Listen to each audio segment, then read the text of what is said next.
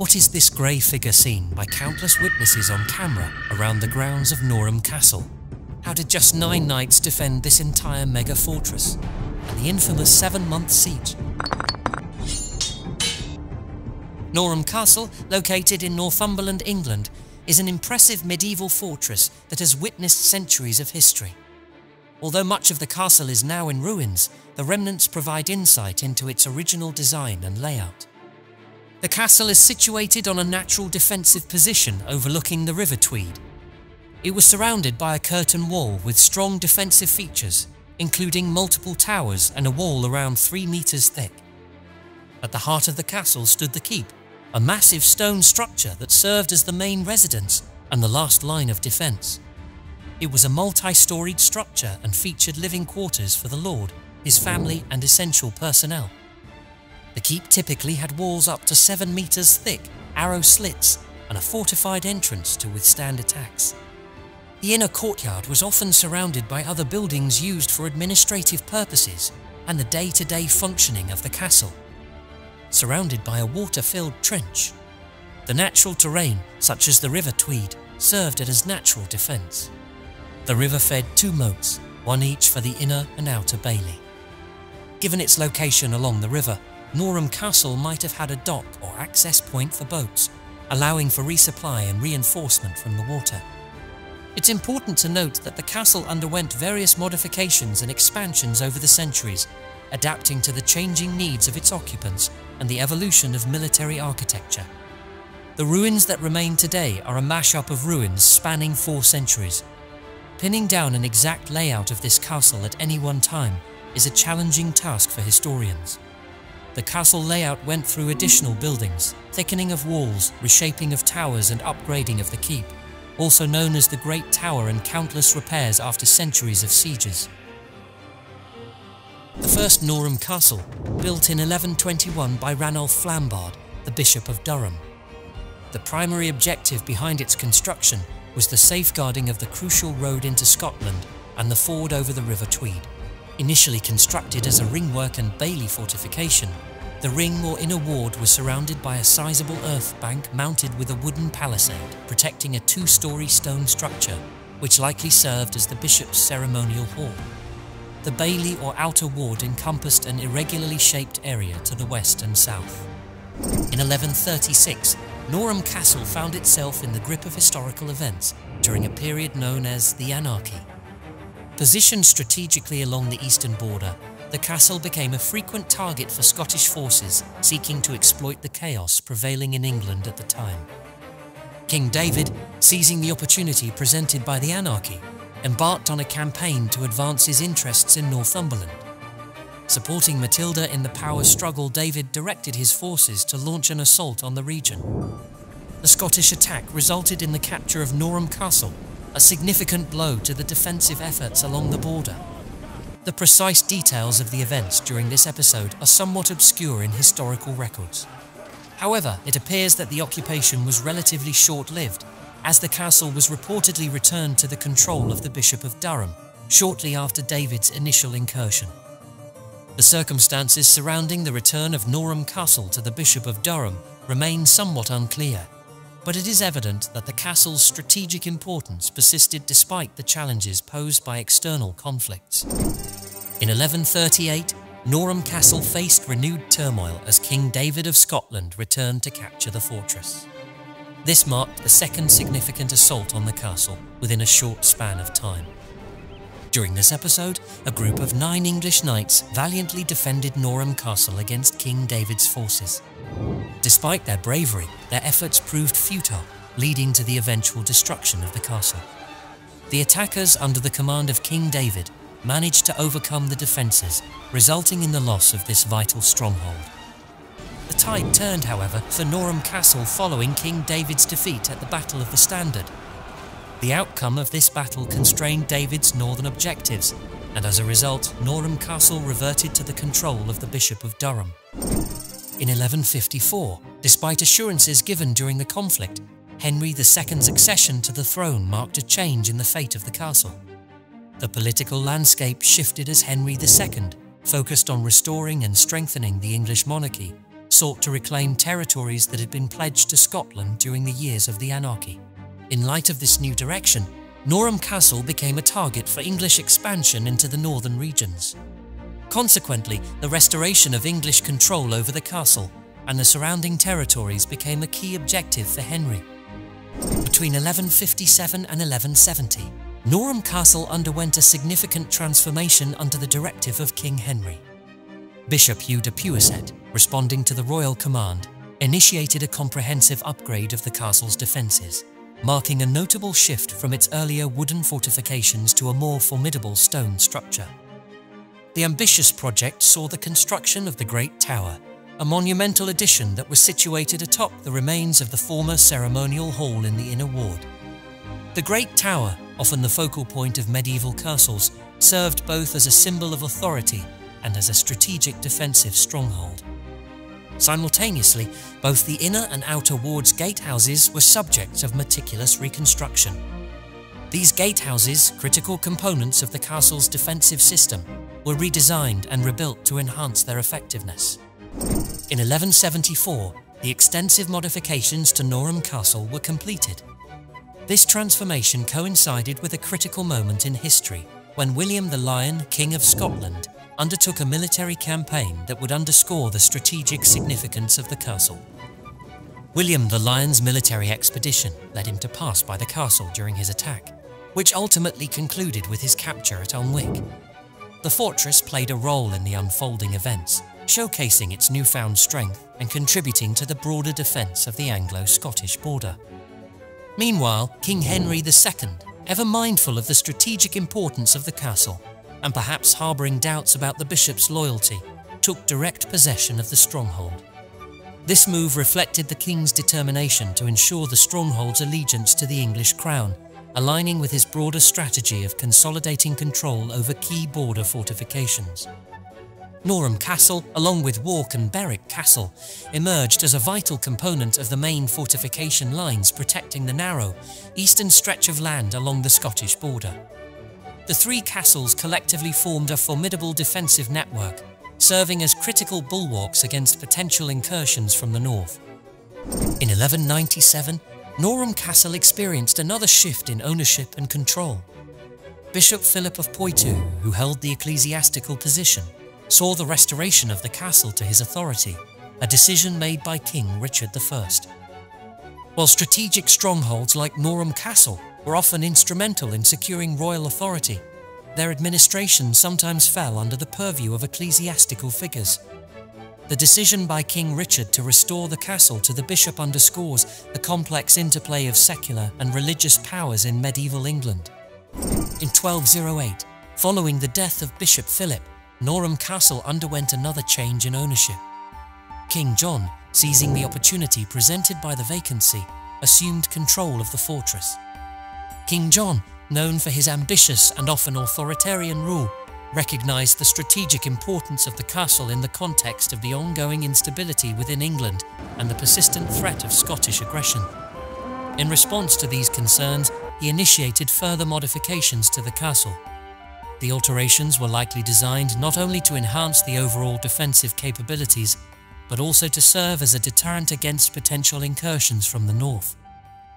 1215, the strategic significance of Norham Castle was starkly demonstrated when Scottish forces, led by King Alexander II, besieged the fortress. The upgrades and fortifications implemented by King John were put to the ultimate test during this siege, showcasing the castle's resilience and the effectiveness of the improvements made in the face of a determined adversary. Sir Robert Clifford emerged as a central figure during the siege, successfully leading the defence against Alexander's forces. The siege endured for a challenging 40 days, during which Sir Robert Clifford skillfully repelled the Scottish attempts to capture the castle. 1217 Norham Castle experienced another shift in ownership as King Henry III restored control of the fortress to Bishop de la Marche. 1291 the castle showcased its multifaceted role by hosting diplomatic functions, underscoring its importance beyond its military significance. In May of that year, the castle became the setting for a significant event when Anthony Beck, the Bishop of Durham, played host to King Edward I and his court. This gathering took place as King Edward journeyed northward to address and adjudicate the succession to the Scottish throne. 1292, following the judgment determined by King Edward at Berwick, the monarch returned to the castle. This visit was a significant moment in the political and diplomatic manoeuvring surrounding the establishment of the new Scottish king. During this visit, John Balliol, the candidate chosen by Edward, paid homage to the king as Scotland's feudal overlord. The act of homage was a symbolic gesture that underscored the vassal-lord relationship between Balliol and Edward. It represented a crucial step in formalising the political alignment between the two rulers and solidifying Edward's influence over the Scottish monarchy. It is this period of history that plays as the origin story of the castle's resident ghost. So diving into the eerie history of Norham Castle and its resident ghost, the infamous Grey Lady. It's the 13th century, and Norham Castle stands tall in the English countryside. The lord of the castle, a man by the name of William de Solis, rules with an iron fist. But our story takes a darker turn when we meet Lady Mabel, his wife. Lady Mabel wasn't living the fairy tale life you'd expect. Unhappy in her marriage, she found solace in the arms of a man of lower status. The two lovebirds hatched a plan to escape their oppressive reality. Lord Solis, consumed by jealousy and rage, discovered the forbidden love affair. In a fit of fury, he sentenced Lady Mabel to a life of imprisonment within the walls of Norham Castle. The tower became her cage, and as the days turned to nights, Lady Mabel wasted away, her heartbroken whispers echoing through the halls. Some say she died of a broken heart. Others claim her spirit lingers on. Enter the Grey Lady, the ghost of Lady Mabel, condemned to wander the castle grounds in perpetual sorrow. Witnesses have reported sightings of a misty figure, draped in grey, haunting the very tower where Lady Mabel spent her final days. Late at night, as the moon casts an eerie glow over the castle, some claim to hear faint sobbing carried by the wind. The Grey Lady's presence is said to be strongest by the riverbanks, where she pines for the forbidden love that was snatched away from her. 1311 to 1312, known as the Robert Bruce Rebellion or the First War of Scottish Independence, the English strongholds in Scotland faced severe challenges. Following the death of King Edward, Robert Bruce's forces systematically dismantled English control in Scotland, capturing and reducing strongholds one by one. In a strategic move to force negotiations with the English, Robert Bruce extended his campaign into Northumberland. Amidst this military upheaval, Norham Castle stood as a formidable fortress that withstood the brunt of Robert Bruce's incursions. Recognising the strategic importance of Norham, its fortifications were deemed too formidable to penetrate, leading to the decision to leave the castle unchallenged on both occasions when Robert Bruce invaded Northumberland. 1314, a significant turning point occurred in the conflict between England and Scotland during the First War of Scottish Independence. The English war machine suffered a devastating blow as they were routed towards the Battle of Bannockburn while attempting to relieve Stirling Castle. This humiliating defeat had profound implications, leaving northern England vulnerable to further raids from Scottish forces. The Battle of Bannockburn was a decisive confrontation that unfolded between June 23rd and 24th, 1314. Led by King Robert the Bruce, the Scottish army faced off against the English forces commanded by King Edward II. The Scots achieved a resounding victory, crippling the English military and severely diminishing their ability to maintain control over the northern territories. The defeat at Bannockburn had a cascading effect on the defensive capabilities of English strongholds, including those along the Anglo-Scottish border. The destruction of the English war machine left northern England exposed and susceptible to incursions from Scottish forces. The strategic landscape shifted dramatically, and the security of fortifications such as Norham Castle became increasingly precarious in the aftermath of the Battle of Bannockburn. In 1315, amidst the ongoing threat of Scottish invasions and the vulnerabilities exposed by the Battle of Bannockburn, King Edward II took decisive action to secure the Scottish border. Recognising the strategic significance of the castle, he personally assumed temporary control of the fortress. The decision for King Edward II to take command of Norham Castle reflected the severity of the situation and the need for direct royal intervention to bolster the defences of key strongholds. 1318, the castle faced a heightened threat, becoming a prime target for Scottish forces. To counter this imminent danger, Sir Thomas Grey was appointed as the constable of the castle. What followed was a year of intense conflict, marked by a relentless series of attacks and sieges.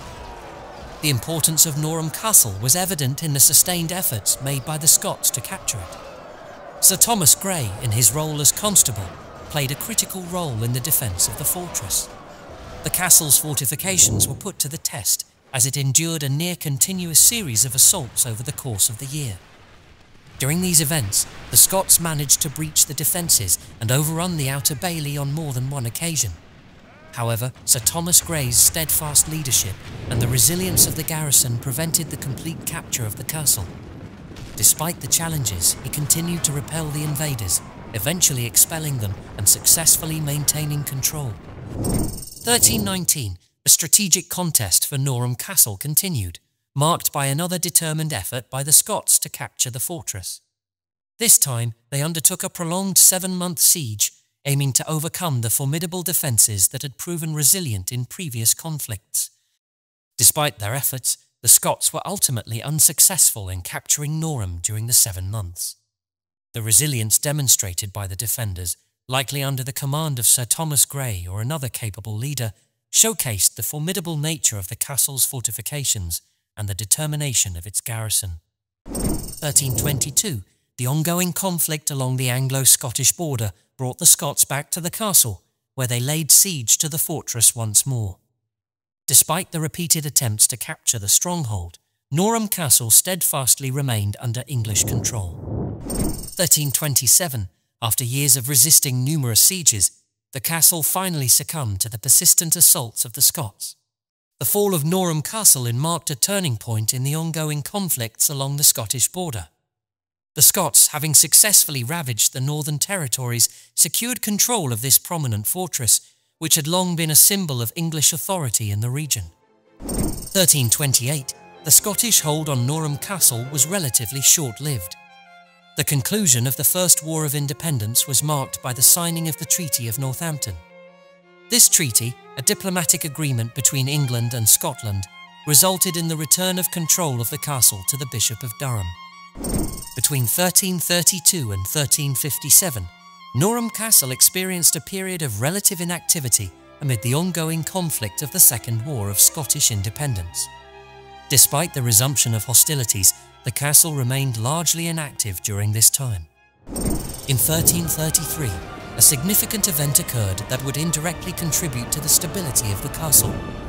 Edward III, in a decisive victory at the Battle of Halidon Hill, defeated a Scottish army and captured the strategically important town of Berwick upon Tweed.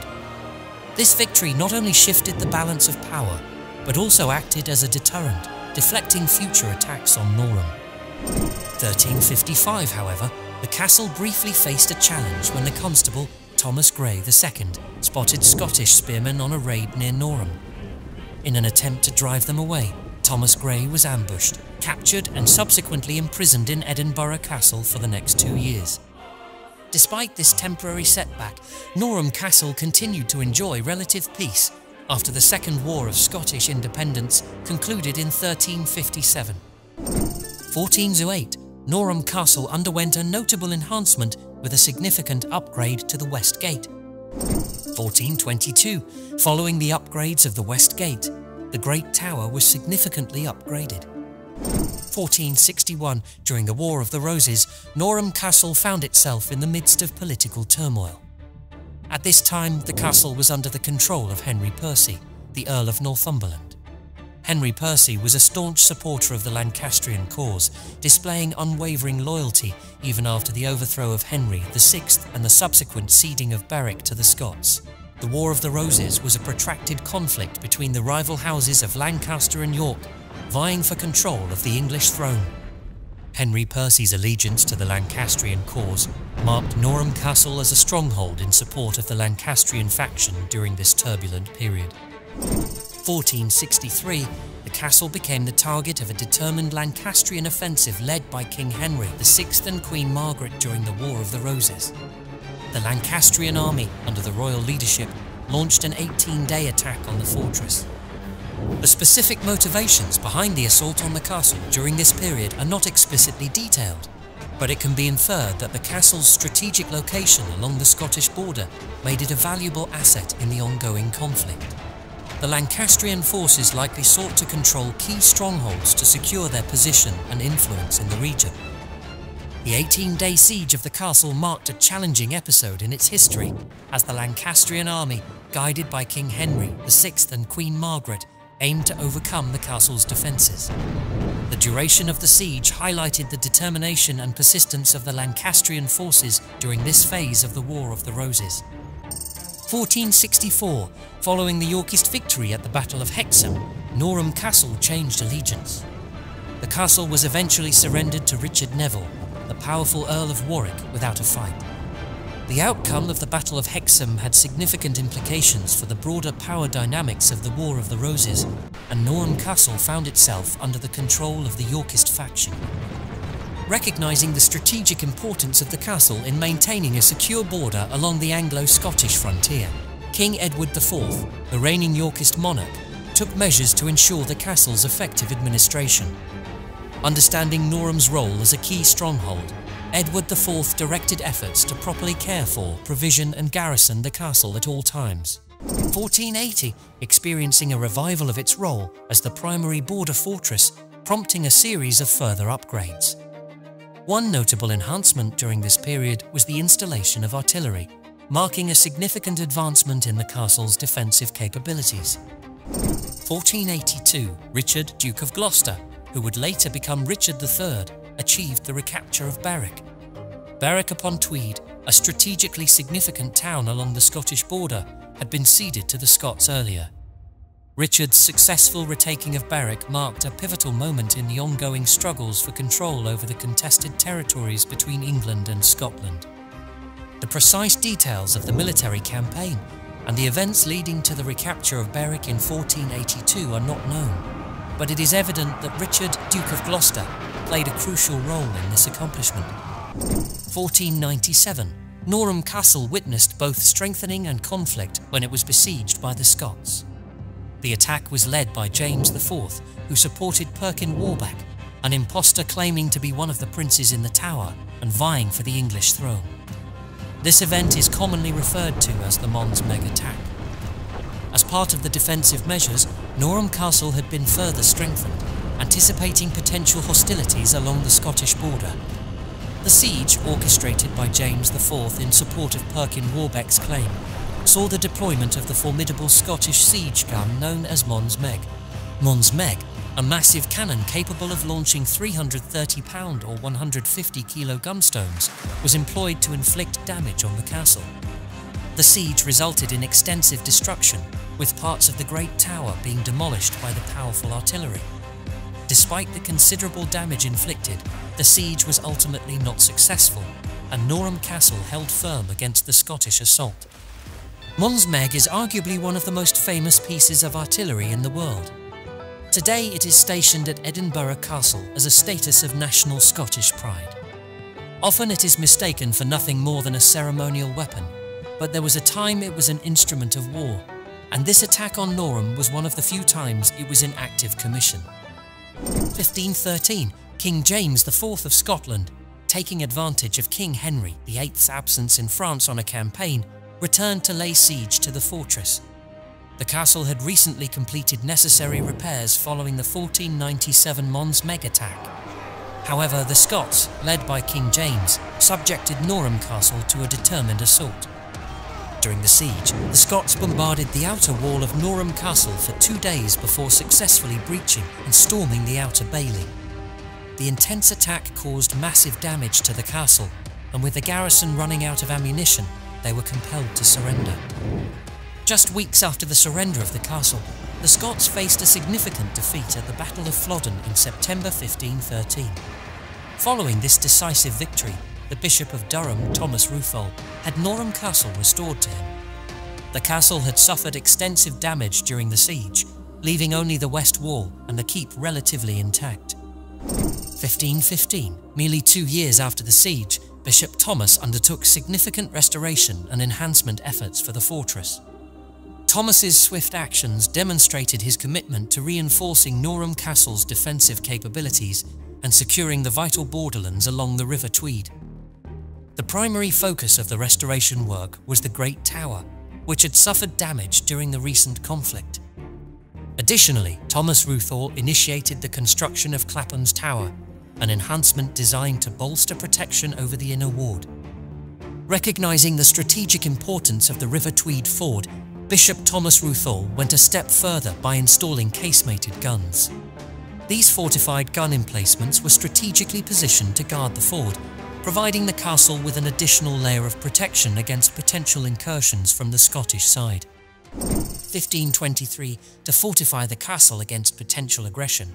Gunners from Portsmouth were dispatched to reinforce Norham's garrison. This strategic move was aimed at bolstering the castle's defensive capabilities, particularly in response to the heightened tension and perceived risk of a Scottish attack. The expertise and firepower of these gunners were crucial in enhancing the castle's defensive readiness. Fortunately, the proactive reinforcement of Norham Castle proved effective. The Scots opted not to launch an attack, likely deterred by the strengthened garrison and the formidable defensive measures in place. 1559, Bishop of Durham, Cuthbert Tunstall, declined to take the oath of supremacy.